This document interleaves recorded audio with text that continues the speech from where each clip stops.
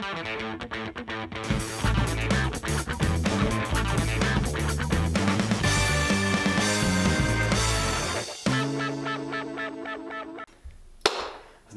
všetky hamburgerové babky a detkov. Dnes sa budeme baviť o dôchodkoch a o tom, čo robiť, aby sme v starobe nemuseli ohryzať e, vyschnuté kvorky a aby sme mohli cestovať ako švajčiarskí dôchodcovia. Máme tu dvoch hostí. E, je tu Radovan Ďurana, ktorého určite poznáte, ktorý sa venuje verejným financiám a dôchodkom. A potom je tu titulmi ovešaný Jan Šebo, ktorý sa venuje iba dôchodkom a je to vlastne najväčší akademik na dôchodky na Slovensku. Takže vítaj. Ďakujem. A začneme asi hneď s tým aktuálnym, čo sa teraz momentálne deje medzi dôchodkami. A ty si si pripravil nejakú záľudnú otázku. Ja som rád, že tu sedí vedľa mňa expert na dôchodky, lebo som mu chcel sa spýtať, že či sa stáva to isté aj jemu, čo mne, že dostávam celkom pravidelne e, výhražné správy e, od dôchodcov, niektoré s takými nepríjemnými prianiami, e, pretože sa vyjadrujem kriticky k zvyšovaniu dôchodkov aj k minimálnym dôchodkom. Tak či sa to stáva aj tebe? Vidíš, keby si sa nevyjadroval kriticky, ale rozprával ľuďom pravdu, tak by ti nechodili výhražné správy. Ale mne chodia tiež a to rozprávam iba pravdu. No, uh, chcel by som uh, v na tomto priestore uh, starým rodičom hamburgerových detí objasniť, že keď sa vyjadrujeme kriticky k dôchodkom, tak to nie je preto, že by sme tým súčasným dôchodcom nedopriali a nie je to uh, ani preto, že by sme im neboli chceli znižovať tie súčasné dôchodky. Nie ste nejakí sociálni netvorí? Ale... Nie sme sociálni netvorí, ale ide nám o to, že ten dôchodkový systém je, sú spojené nádoby tých, ktorí do neho platia a tí, ktorí z neho poberajú. Tak poďme sa najprv o tom, že tí, ktorí platia. Aby sme si to ujasnili, že koľko človek platí dnes, keď je zamestnanec a uh, už dnes platí tým starým rodičom na, na dôchodky. Bo vieme, že tam človek nešetrí peniaze, ale hneď to práve odchádza na súčasné dôchodky. Dobre, koľko platí ale človek? Keď sa aj do budúcna bude baviť o, že o akejkoľvek zmene alebo mm. niečo podobné, ktoré by malo zasiahnuť nejaké výšky dôchodkov, Vždy v normálnom slušnom svete platí zásada, a toho sa držíme aj my, aj ako ja ako výskumník, predpokladám aj ty, že ak aj navrhujeme nejaké zmeny, nikdy nesmú, nesmú poškodiť súčasných poberateľov. Vždy to má platiť iba pre tých nových, ktorí ešte len prídu do dôchodku. Dobre, a teraz, koľko vlastne platíme? Ehm, sociálna poisťovňa hovorí, že 18%. To je, to je v zákone napísané. No. 9% krásne. zamestnávateľ, 9% zamestnávateľ. No, nie, nie, nie, to, bola, to, bola, to bola tá pôvodná formulka. Nie, nie, nie, to, to je 14 a 4 je to, aha, ale aha. to je jedno, či to platí zamestnávateľ, to som zamestnanec. Povedať, ono je to jedna kôpka, ktorú má zamestnávateľ prichystanú pre teba, ale tebe to nedá, ani to neukáže vo výplate, rovno to pošle tam. To som sa tým budem povedať, že, hej, to číslo Keby bola super hrubá mzda, ergo celkové náklady práce, mm. tak dostaneš zhruba od skoro raz toľko a ty si to všetko práve krásne zaplatíš. A teda nie je to všetko, tých 18%? Je tam no, ešte... to, že hovorí sa, že 18% platíme na dôchodkové zabezpečenie. No, aby to bolo dosť na vyplácanie dnešných dôchodcov, mm. pretože my si tam v sociálke nič nesporíme, ale rovno to sociálna poisťovňa preposiela tým dôchodcom, 18 nie je dosť. Ani 22,75, teda celý ten balík starobného dôchodkového poistenia plus ten rezervný fond Solidarity nie je dosť. Mm-hmm. Musíme použiť aj všetky prebytky z ostatných tých fondov a štátny rozpočet ešte niečo musí poskytnúť tej sociálnej poistenie, aby sme to vyplatili. Tých 24, 20, 20, teraz je trošku menej, lebo veľa nás pracuje, ale 25% je tá tzv. efektívna odvodová sadzba. Toto kebyže si naozaj platíme, tak je to dosť, aby sme vyfinancovali všetkých poberateľov starobného dôchodku. Takže vlastne štvrtina vyprodukovanej hodnoty zamestnanca, teraz v tých najlepších časoch, keď máme veľa pracujúcich, ešte relatívne nie tak veľa dôchodcov, ide na dôchodok. Ono to trošku klame, tie prepočty. Není to presne štvrtina, je to trošku menej. Že keď to dáš ako podiel zo super hrubej mzdy, no, tak je to trošku menej. Ale, ale v zásade hej, 25% sadzba tých odvodov. A môže si to potom človek ako prirovnať aj e, k sadzbe daní z príjmov alebo k iným odvodom, zdravotným odvodom, mm. že je to ako výrazne najväčšia položka, ktorú človek platí už teraz. Hej, ale vieš, ja ako výskumník potrebujem nájsť tom nejakú že úplne simple logiku. Ak je to štvrtina toho, čo zarobím, hej, a povedzme, mm. že pracujem 40 rokov a 20 rokov idem žiť, to znamená, že dve štvrtiny, keď dám dokopy, tak to mi vlastne vydá ako keby na zakrytie polovice mm-hmm. mojej mzdy. Mm-hmm. No ale to sedí. Mm-hmm. No tak to je. väčšina dôchodcov dostáva tzv. 50% mieru náhrady. Áno. 50% toho, čo zarábali, to dostávajú na dôchodku. Logiku to má. 40 rokov pracujem, 20 rokov som na dôchodku, štvrtina, štvrtina, polovicu dostávam. Takže ekonomiku, logika za tým je. Takto to všetci dokážu pochopiť. Hej, hej. Keby nebyť toho, že... No tak 18 a 18 je 36, no tak nech dostávajú tretinové dôchodky z toho, čo zarábajú. No. To sa z toho sa nedá vyžiť. A možno ešte taká otázka, že čo si ty myslíš o slovenských dôchodkoch? Že máme ich e, vysoké, nízke, alebo také akurát v porovnaní povedzme, neviem, so susedmi, alebo so západnou Európou? Keď sa pozrieme na tie podiely. Tí, ktorí strašne veľa pracujú a relatívne do, dobre zarábajú, tak sú úplní chudáci na Slovensku a naopak tí, ktorí majú nízke mzdy, trošku sa flákali, tak tí majú relatívne vysoké dôchodky oproti tomu, čo robili. Mm. Takže my sme taký divný štát. Ale ja som si robil to porovnanie priemerného dôchodku a priemernej mzdy v Česku a na Slovensku a máme vyššie dôchodky, vyššie. priznávame vyššie dôchodky, ako vieme vygenerovať hodnoty, e, ako tvárime sa, že sme bohatší. No áno, to v rámci dôchodkového systému áno.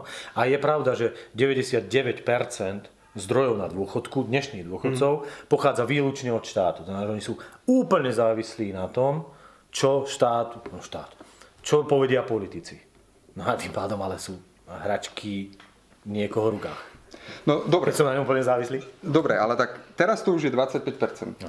Ale vieme, že za uplynulý rok sa udiali divoké zmeny v tom štátnom pilieri, v tom prvom pilieri, e, ktorým e, všetci odborári boli radi, že sa podarilo zastropovať ústavným zákonom vek odchodu do dôchodku a teraz je množstvo dôchodcov rado, že tá hranica minimálneho dôchodku, ktorú doteraz mm, sa týkala asi, neviem, 50 50 tisíc e, dôchodcov, takže sa posunie vyššie. Takže čo sa stane s tými našimi 25%? No, najskôr tú filozofickú otázku, že v tom predvianočnom čase sa filozoficky zamýšľam, že, že ako málo a aký krátky čas stačí na zlikvidovanie dôchodkového systému.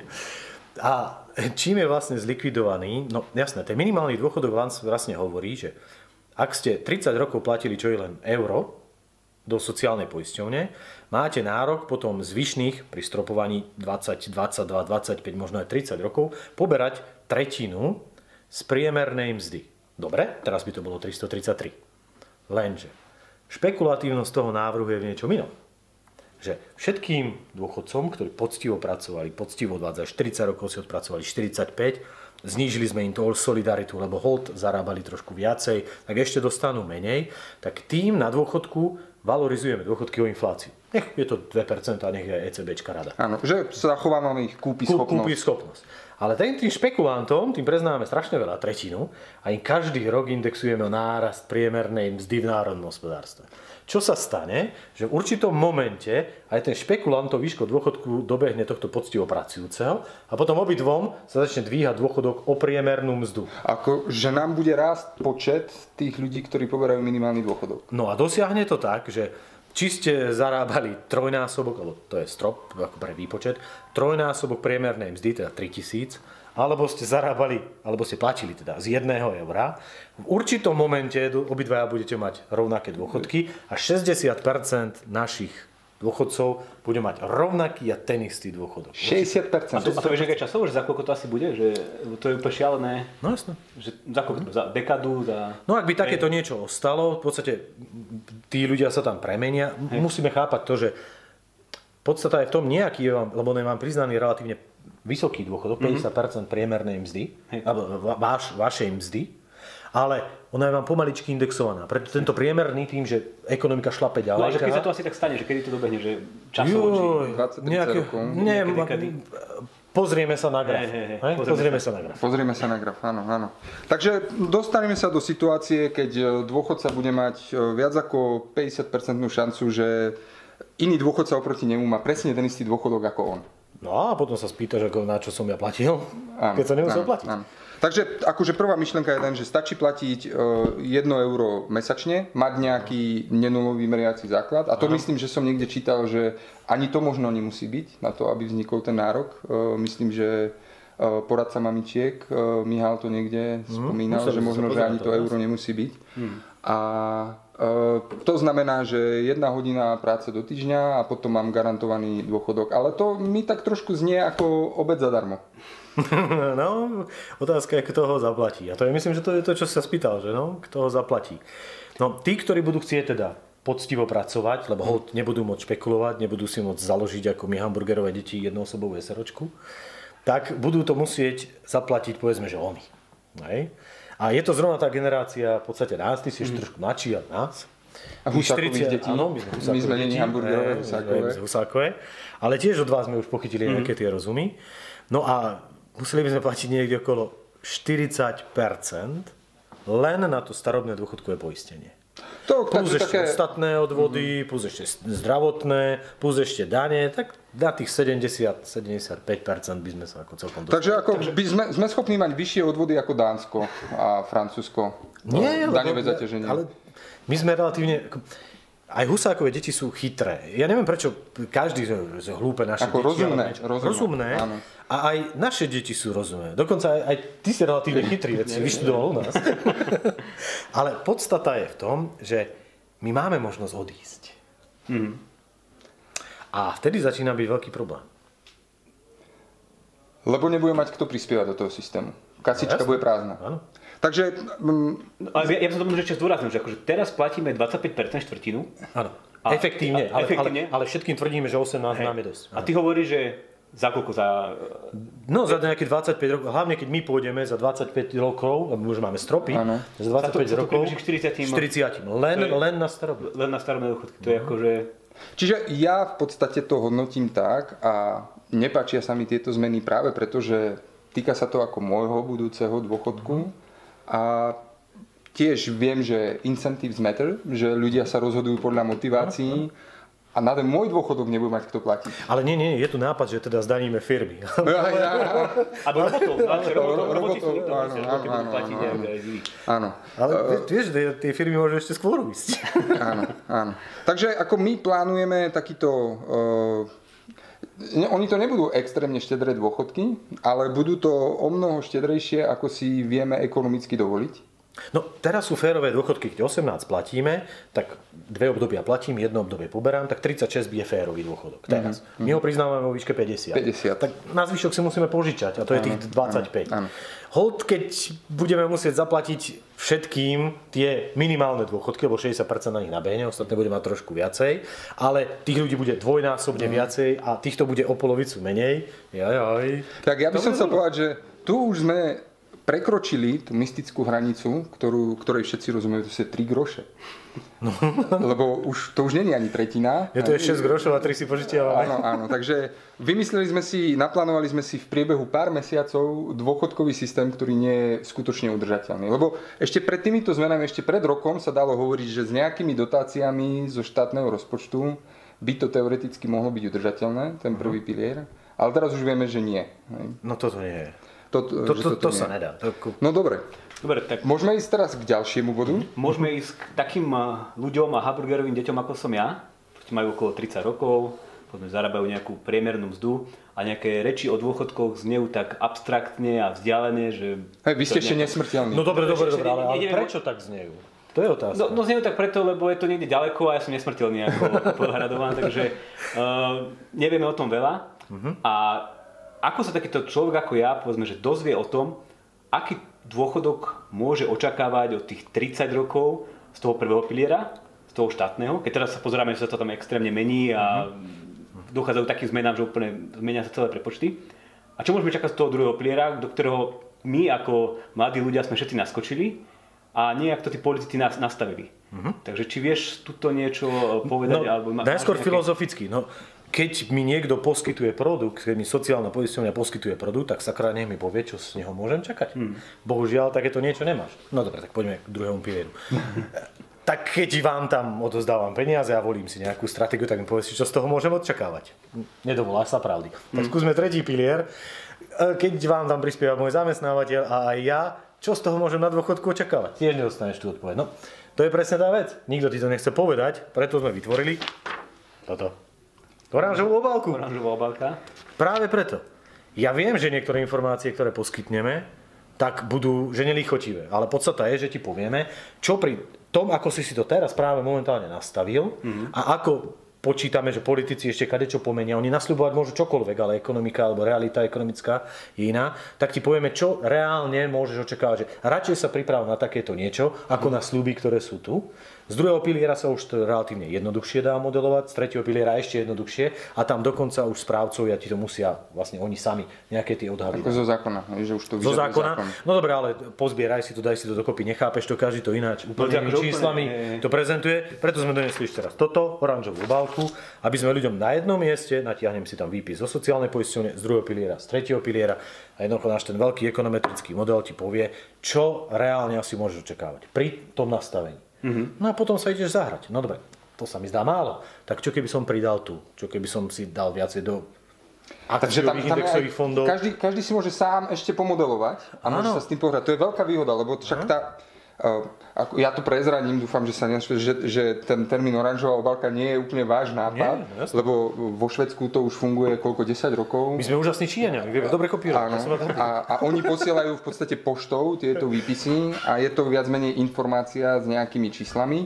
Zatiaľ, čo vy umožňujete človeku, aby si mohol rovno, eh, keď si povie, mm, budem mať 60 rokov, mzdu budem mať 2000 eur a aby som mal spokojný dôchodkový život, chcem dostávať aspoň 1200 eur. Presne tak. A teraz, čo vlastne musím urobiť, aby som sa k tým 1200... Čo musím urobiť dnes, aby som sa Áno. pri nejakej hladine pravdepodobnosti tam Áno. dostal. Áno. Ako to, to, to je presne to, čo by mal človek dostať e, ideálne pri e, prvom zamestnaní, takúto informáciu, aby si vedel A urobiť aby, aby predstavu môže tých také základné veci, ako nejaký zložený úrok, čo je extrémne dôležitá vec práve pri eh, šetrení si na dôchodku. Alebo čo znamená, keď si zmením, čo je len pridám o 10 eur mesačne naviac, že čo to urobí vo finále. Mhm. No ale toto si myslím, že toto by mal byť základom akýkoľvek finančného produktu, pretože keď si ideš kupovať auto, tak oni ti tiež nepovedia, no kúpite si kolesa, kúpite si toto, ale ty vieš, že čo dostaneš ako, ako, ako ed- edverien, na, na konci, čo to vlastne je. Koľko vie ako rýchlo. Áno, ako, ako rýchlo vieš, že- je to, je to presne povedané. Tu? Nie. No ešte keď ti aj v druhom pilieri a treťom pilieri, treťom pilieri ti už ako tak ti povedia, v druhom o chvíľočku, ale sociálna poistňovňa ti teda veru nepovie. A veľmi dlho, že ti ešte nebude To by hovoriť. možno že ukázalo tým mladým ľuďom aj dôležitosť toho, ako sa správajú v tom druhom pilieri, ako si vyberajú produkty. Presne tak. Mne, mne sa veľmi páči táto myšlienka, pretože už vidím, ako e, niekto hovorí, že však to už musíme na základných a stredných školách riešiť pri finančnej gramotnosti. Tak e, to beriem, že to je taká signalizácia, ale že kým človek v tom nemá vlastné peniaze, tak ho to nezaujíma, nemá k tomu vzťah. Že tu už idete na konkrétnych číslach a človek tam vidí seba, svoj príjem a tým pádom má aj tú motiváciu sa nad tým fakt zamyslieť. To je presne vyvolať ten pocit. U toho človeka chceme viesť presne vyvolať ten pocit. Tak predstav si, že toto reálne môžeš očakávať. ja si zvyknutý teraz na 1200 eur disponibilný príjem, alebo na- máš hrubár, náš hrubú mzdu 1200 eur a na dôchodku ti vydá z tých nastavených pilierov nejakých 500 eur na, dneš, na dnešné ceny. Samozrejme, nominálne to bude niekde inde, ale to má v rukách Európska centrálna banka. A teraz si uvedom, že fakt odteraz by som mal žiť celý život až do smrti s 500 eur. A v podstate to je, to je to, že pochop to, že dá sa to, vieš si to predstaviť. No ak nie, tak skús to nejako zmeniť a my ti tam pomôžeme nejakým trošku sofistikovanejším spôsobom, nielen nejakými jednoduchými online kalkulačkami typu lineárne výnosy teraz do budúcna, trošku sofistikovanejším spôsobom to namodelovať, že čo asi naozaj reálne je možné očakávať. No, dobre, a teraz, aká je vaša vízia? Jak túto oranžovú obálku dostať e, k najväčšiemu počtu ľudí? chodiť všade možno, tak hold sme výskumníci, my máme robiť v prvom rade výskum, ale teraz momentálne, keď sa o to nestará nikto iný, tak sme to museli začať prinášať ľuďom. Takže robíme to tak, že ideme chodiť na všetky možné konferencie, na Facebooku, siete fungujú sociálne. Budeme to prinášať ľuďom, jednotlivci nech to vidia, nech nás zároveň podporia v našom výskume, aby sme to mohli skvalitňovať ďalej. Ale paradoxne, Neveril by si, ja som sa veľa kedy strašne hádal s odborármi, pretože tvrdili, že ľudia zomierajú za pásmi, aha, tak ja som chodil aha. po firmách a, a hľadal som, že kto im zomrel za tým pásom. Obišiel som strašne veľa firiem a nenašiel som ich. Ale vieš, čo som našiel? Našiel som strašne veľa zodpovedných zamestnávateľov, ktorí naozaj povedali, že no, ale my tu máme relatívne jednoduchších pracovníkov, oni naozaj do toho nevyznajú. Urobte tú oranžovú obálku tak, aby sme si ju my ako zamestnávateľ zobrali, videli tam našich zamestnancov, lebo ja mám na to, čo ja finančáka, ktorý vyštudoval vysokú školu a vie mojim, svojim vlastným zamestnancom, kolegom pomôcť.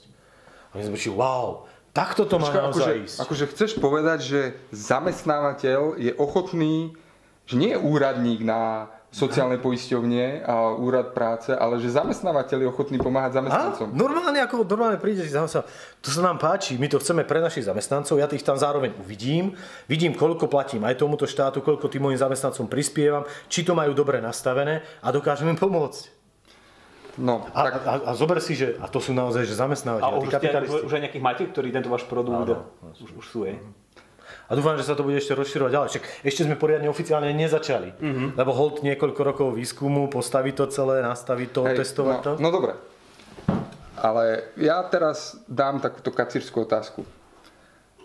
Teraz povedal, že budeme za pár rokov platiť 40%, aby sa uplatili minimálne dôchodky. a By ľudia sme mo- museli Áno, platiť 40%. áno, áno, áno. No. Pokiaľ tu teda ostanú tí ľudia a budú platiť 30-40% a tým chceš povedať, že to je málo, že si dávate tretinu zo svojho príjmu alebo 40% zo svojho príjmu bokom na prvý pilier, vy by ste si mali šetriť ešte viacej.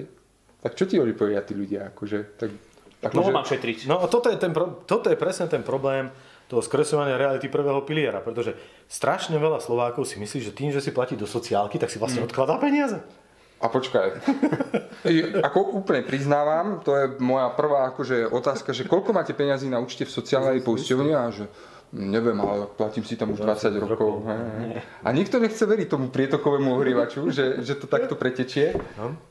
A ešte keby si mi povedal, že ešte to, čo z daní tam pošlete akože štátu, z toho sa neplatí len výstavba ciest a nejaké tie akože školské zariadenia, zariadenia sociálnych služieb a obrana Hmm. a, a polícia, teda bezpečnosť, ale aj z toho čas peniazy zoberieme a ešte, ešte dáme tej sociálke.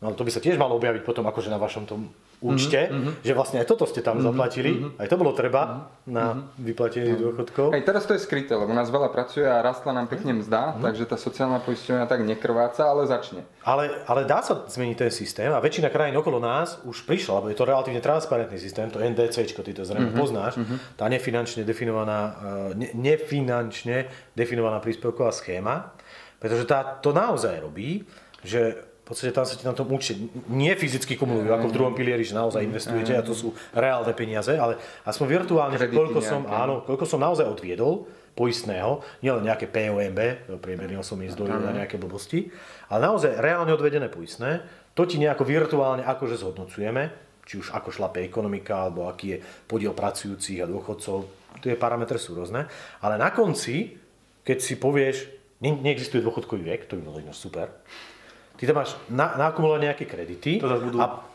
správy. Hej. Nie, ale teraz je dôležité to... a, a, a ty v nejakom momente, lebo presne vieš, ako sa ti vypočíta dôchodok, mm-hmm. a to je jedna lomeno stredná dĺžka dožitia. Hej. Čo je 50 ročný človek sa dožije ešte 30 rokov. Mm. Tak jedna lomeno 30 a, a toto je ročne si môžem z tejto sumy vybrať. Mm. Lebo 30 rokov sa priemere dožije. Jasne, sociálna poistenia garantuje, že keď sa aj dlhšie, ale niektorí zomierajú aj kratšie. Takže na to je tá stredná dĺžka dožitia. To je tzv. férová anuita. A tu sú máš nakumulované a teraz si povieš, mám tam 2 milióny kreditov, 2 milióny, ja som 40 ročný, 40 rokov budem asi žiť, tak 2 milióny rozpočítam na 40 rokov, vyjde mi to tam, že si môžem 25 tisíc ročne, hej, to je zhruba 2 tisíc mesačne, idem do dôchodku, 40 ročný mám dosť, Hej. Ale- Ak- ale to- hej, to- to by toto je- pomohlo k tomu transparentnému. pomohlo, no. Ale ja som ešte sa zabudol na jednu vec spýtať, pretože uh, médiá mi otriasla v minulých týždňoch jedna správa týkajúca sa druhého piliera, ktorá uh, medzi uh, odporúčanými riešen- riešeniami, čo s druhým pilierom hovorí o, aj o alternatíve, že by to neboli súkromné správcovské spoločnosti, ktoré by sa ti starali o druhý pilier, mm. ale že by to bola štátna správcovská spoločnosť napríklad, alebo že by sme znížili ten odvod do druhého pilieru, tak ako skúsme pár vetami. Jak... Môžem skôr sarkasticky, veď my už ju vlastne máme. Urobme zo sociálnej poisťovne akciovú spoločnosť, ktorá bude podliehať takým istým účtovným štandardom a bude si musieť požičiavať kapitál na finančnom trhu. Ja budem prvý, čo to budem šortovať, ja som miliardár. Ale teraz nie je vážne. Áno, tá myšlienka je.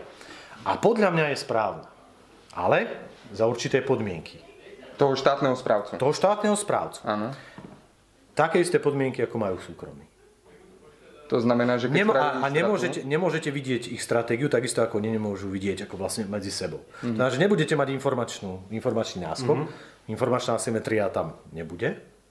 A musíte fungovať, no teda tzv. level playing field. Vyrovnáme podmienky a nech sa páči. No dobre, ale Akože tak... to, akože to by bol konkurent tým. Konkur- no, to- ale ako ty si ináč? hovoril asi... e, Že zrušíme všetkých ostatných. Áno, pretože to bude, o, ona bude tak efektívna, že tam budú tak nízke poplatky, že Úspory vďaka rozsahu. tomu o, my budeme mať o mnoho vyššie úspory. Ale mňa by zaujímalo, že kde táto štátna správcovská spoločnosť, z čoho ona bude hradiť tie straty e, v tých garantovaných fondoch? Začína byť zle. to ako myslíš vážne. Ja, ja nie, počkaj, to niekto iný myslí vážne. On to No. aj napísal. No, no, no. Hmm. No, To, toto sa mi nezdá byť úplne ako košer myšlienka, pretože fakt ako mať štátneho, štátneho správcu, ktorý nevie dať dokopy ani jednoduchý mechanizmus v prvom pilieri a ja mu mám zveriť svoje reálne úspory, keďže viem toto, že toto tu rozmátia a ešte vystaviť aj, ja si ich naozaj aktívne manažujem, tie svoje úspory a starám sa o ne. A ešte moje svoje úspory. Počkaj, ja, ja, nie, nie, ale nie. dobre, dobre, dobre. Zabudneme, zabudneme na sociálnu Toto už je taká celkom abstraktná, vysoká debata. Ešte, tak ešte chvíľku, ešte, chvíľku, ale ja to, už- posledná. ja to už seknem za chvíľku, lebo už... Ale, lebo podľa mňa tým sa nemyslí sociálna poisťovňa, Ja viem. ale my máme predsa ešte odborníkov v Národnej banke. Čo keď to A nie, máme, máme aj Ardal, aj ty to môžeš robiť. Aj Tam Ardal. to- to- No, to tam sú no. investori, no, no, no. Čo keď pozbierame ten najlepší human capital, ktorý máme vo verejných inštitúciách a oni sa nám budú starať o úspory? Stejne si to akože neviem predstaviť. Úplne seriózne. Zveriť vlastné reálne úspory, na ktorých som bytostne závislý, do rúk niekomu, ktorý podlieha tomu... Ono je tam, že ty to hovoríš, že politické riziko, ale myslím, že profesor Kornaj ešte vtedy, keď to prednášal na Harvarde, on tam povedal, že je tam meké rozpočtové obmedzenie organizácii, ktorá aj keď zareže stratu, tak príde striček sem a povie, a dobre, tak trošku, trošku ti dáme nenávratnú finančnú výpomoc. Ja, som, ako, ja, ja sa bojím toho obrovitánskeho reputačného politického vôbec, akože toho politického rizika. Áno, áno. Tak, tak možno, že teraz trochu sekneme s touto témou a poďme späť do reality. Predstav si človeka, mladého, tak ako ja, povedzme 31 rokov, má nejakú priemernú mzdu, chodia mu nejaké obálky z druhého piliera, ale iba ich rozlepí a hodí do koša, nejak moc to nerieši. Čo by takýto človek mal urobiť nejaké tri kroky, aby si zlepšil ten uh, dôchodok? V prvom rade klikne si na vašu stránku žltá obalka.sk Oranžová. alebo oranžová, pardon, pardon. Dobre, klikni si na oranžovú obálku. Ale aby, aby som si kúpil aj dobenú žltá obálka a potom tam dával prekliky, ale e, to je taká rada OK, marketingová. dobre, dobre. Lebo niektorí ľudia to berú ako rovnaké farby. Ale teda, čo by mal byť ako druhý krok, druhý a tretí krok? Dobre, Že mladý človek je ignorant, pre dôchodok je niekde ďaleko, je nesmrteľný. Čo by mal urobiť? Dobre, ako povedzme, že fakt ako, nechceš tomu vedať. Ono to nie, ale není jednoduché nastaviť si to dobre. Ako fakt, keď som to skúšal sám, kým sme to ešte nepostavili, musíš si stiahnuť výpisy, musíš na tú sociálku, musíš si to... Mne trvalo len dva dní rozkodovať výpis do sociálky, že čo to je. A potom si to daj nejakým spôsobom do Excelu, doťahaj si tam dáta, odhadni si asi koľko budeš... Ako, není to úplne sranda, akože dostať sa. Tomu práve preto sme to vytvorili. Ale jednoducho, fajn. Som na trhu práce, mám 30 rokov, som v druhom pilieri, neviem, ako na tom budem. Založím si účet, uvidím na tom, ako budem a v druhom pilieri okamžite tam ti to vykrikne. "Oh, máš 30 rokov, čo robíš v dlhopisoch? Ja počkaj, 80% ľudí je v dlhopisoch, čo tam robíš? Takže to je default. No default je u nás v dlhopisoch. Dobre, Je, je, takže... pravda, je pravda, že teraz dobrovoľný vstup a väčšina mladých je už rozdelených, že má výrazne indexové fondy. Takže mm-hmm. tam si správcovia robia svoju robotu veľmi kvalitne. Mm-hmm. Aj sprostredkovateľi, aj keď... Dobre, necháme to tak. Tak ale poďme teda... Ale človek povedzme, že áno, je- ty padáš, že kde si. A oranžová bálka ti povie, no, pozri sa, toľko to máš do dôchodku, Hmm. hej, na čo si teraz tak veľa v dlhopisových fondoch, lebo ty vymieňaš, ty chceš byť mále, nízke krátkodobé riziko, ježiš, len aby mi to nelietalo hore-dole, Hmm. a vymieňaš to za dlhodobé riziko. Ježiš Maria, je obrovitánska pravdepodobnosť, že nebude mať dosť.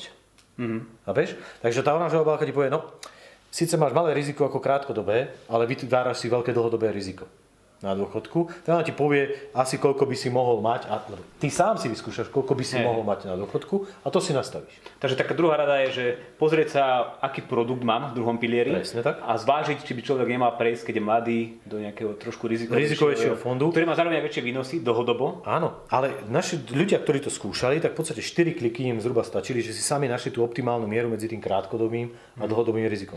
Že ako má mať rozložené úspory. Ja neviem povedať, že či to má byť 100 a 0 Dobre, dobre, alebo takže 80 a 20. toto je akože správny krok si, povedzme, že pre väčšinu mladých. A čo ten človek má akože urobiť teraz? Má ísť za nejakú Nie, nie, svoju... počkaj, počkaj, ale toto je len 5%, hej? Pretože do druhého piliera dávame teraz 5%, hej? No, odbujem, jasno, No, no, no. budúceho roka. Ale čo nad rámec toho druhého piliera? Tých 70% ne, neexistuje, aby si dosiahol z prvého alebo z prvého a druhého piliera. Dnešní to nedosiahnu. 30 ročný z prvého a druhého, maximálne 40. Ak by ostal v prvom, 30, 32. Mm, takže ešte menej. Takže hold musíš si sporiť teraz viac. Keď si začneš sporiť teraz, bude ťa to stať menej a menej bolieť. Ale podstata je vedieť koľko.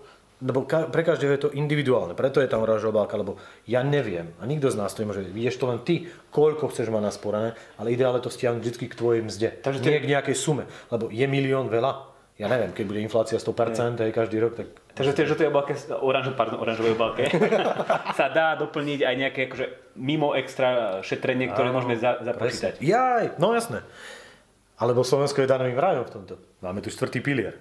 Niekto to nazýva DISCO, dlhodobé investičné sporenie. Na Slovensku sme totiž to zaviedli, keďže sme zistili, že naozaj treba podporiť trošku to, to, to dlhodobé sporenie ľudí, tak sme zaviedli tzv. dlhodobé investičné sporenie, nazývame to krátkosti štvrtý pilier, pretože môže si to založiť jednotlivec a prispievať si tam zo zdanenej, zo odvodnenej, teda z disponibilného príjmu, si to môže dávať príspevky, zvoliť si low-costové finančné, na- finančné nástroje, vo väčšine prípadov sú, to podielové fondy obchodované na burze, tzv. ETF, sám si zvoliť stratégiu a v podstate aj oranžová mu povie, koľko asi by si tam mal dávať, akú stratégiu zvoliť, aby mal nasporené dosť. Krása na tom je, že je to tak štátom zatiaľ nedotknutá vec, že je nádherná. A toho sa chytili tie zamestnávateľia, ktorí povedali, wow, ale toto vieme my pre našich zamestnancov znova postaviť. Že jednoducho to postavíme, všetkým našim zamestnancom určíme tú stratégiu, aj riaditeľ, aj upratovačka budú mať také isté výnosy, budú, bude sa transparentne vidieť, budú tam nižšie poplatky ako v druhom pilieri, Nižšie. nižšie, nižšie Takto. a budeme im tam prispievať. No a predstav si, že ono to nebolo len tak akože vymyslené a nami, nami tiež implementované, ale ono to má súvisť s tým, čo sa ide diať od budúceho roka. Od budúceho roka začnú vznikať po Európe paneurópske dôchodkové produkty. Takže ja, ja si budem môcť sporiť v holandských fondoch? Wow. Áno, vybereš si svojho robo-advisora, nejaký krásny fintech, nejaký startup, ktorý má u veľké úspory z rozsahu, že má jednotnú reguláciu a stojí nad nadnárodnými reguláciami, že nemôže prísť sem nejaký slovenský politik a povedať, ale mne sa to nepáči. To znamená, že bude nad nimi a jednoducho ty si prostriedky môžeš posi- posielať tam a zvoliť si jednoducho krásne fondy, platíš, no tí najlepší, najlacnejší robo-advisory sú niekde okolo 0,3.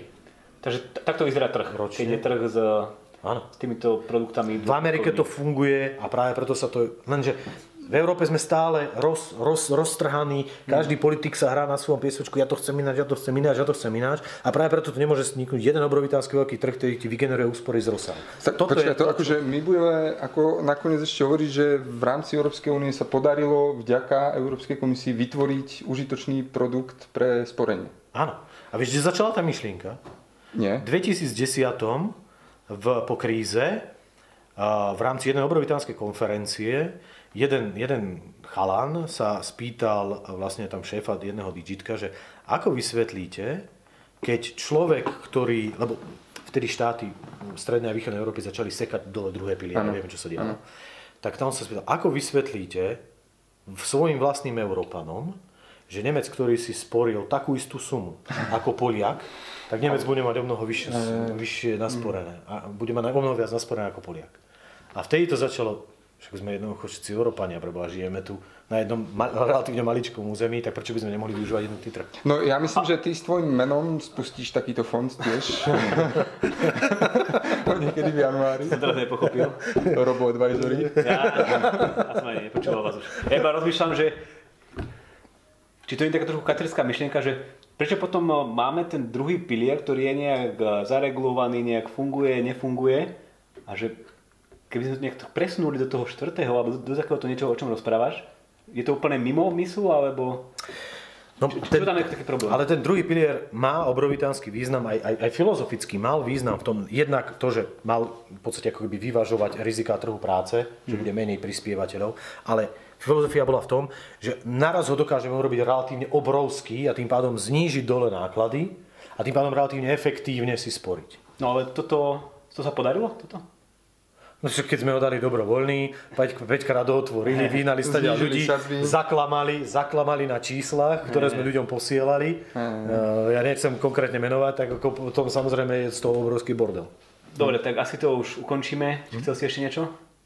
Uh, nie, je to len uh, vianočný pozdrav, pretože neviem, či to nie je posledné vydanie. Je to posledné vydanie tohto roka. Takže ja som si nič nepripravil, ale šťastné a veselé. Určite klikajte tuto na oranžovú obálku. Ja tam idem hneď teraz po tejto diskusii, ako, ako fakt, sa nesmie, ja tam proste idem hneď. A to je asi všetko.